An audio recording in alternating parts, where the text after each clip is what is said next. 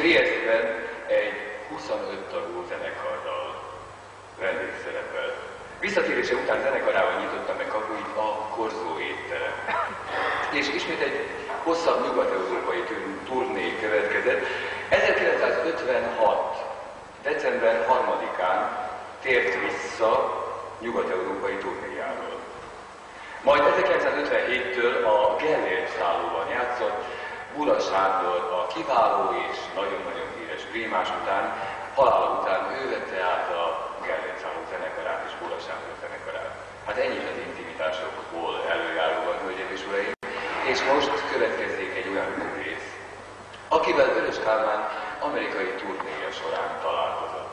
Akkor ott a művész Seres rezsőjaikat énekelt, és annyira megszerették egymást, hogy úgy döntött Vörös Kálmán, hogy helye van itt a 40 éves művészi jubileum is, jubileumon is ennek a művésznek. Engedjék meg, hogy még szóljak a hangolistánkról, akik Harsádi Villának hívnak, és fogadják őt egy nagy tapsal.